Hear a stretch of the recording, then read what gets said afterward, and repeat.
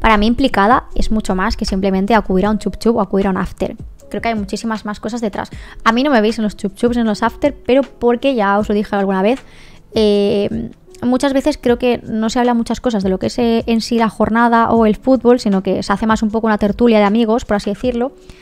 Entonces yo me veo todos los programas, pero eh, no participo en ellos porque se me hacen un poco pesados a veces. ¿Sabes? Me falta a veces un poco más de, hoy hablar de la jornada, en lugar de, a veces que parezca que he quedado con mis amigos a tomar algo y estoy comentando cómo ha ido el día, cómo ha ido la vida o qué novio ha echado mi prima. Entonces, a mí muchas veces es como, bueno, sé que está el vecino, yo lo hablo con el vecino, cualquier cosa el vecino lo va a comentar y como eh, él está ahí, yo os lo comento y yo estoy viendo todos los programas y hablo con él y todo. O sea, cualquier tipo de cosa, yo lo hago igual. Cuando ha habido cualquier cosa que hemos reclamado, cualquier... Eh, soy yo la que escribe la liga todo.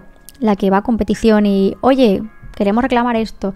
Oye, presentamos esta queja por esto y por esto. O sea, yo gestiono a nivel interno tanto el equipo de troncos como el equipo de troncas a nivel interno soy la que se encarga de todo. De gestiones con competición, de convocatorias, de camisetas, de jugadores 12, jugadores 13, tanto de, troncas como de troncos, eh, de mandar eh, cualquier cosa a, competición, de bajas y altas cuando hay alguna lesión. Todo, o sea, de, de todo lo que es la gestión interna del equipo, me ocupo yo. Entonces, al final, creo que implicarte va como a, mucho más. Lo que pasa es que pues no me veréis, pues eso, en plan participar en, lo que son chup chups y esto, porque bueno, ahí le ojo al vecino, eh, yo comento sus dudas, eh, hablo también con, con, Oriol, muchas veces que le pregunto, digo, Oriol, esto tal, ¿sabes? Eh, dentro de todo, de todo esto, pero yo estoy muy pendiente de las chicas, hablo mucho con ellas, tanto con las chicas como con los chicos, con los dos, con el staff de chicos, igual que con el staff de las chicas, con los misters, o sea, con todo, hay muchísima comunicación porque yo siempre he dicho que principalmente lo que a mí me gusta es que haya comunicación.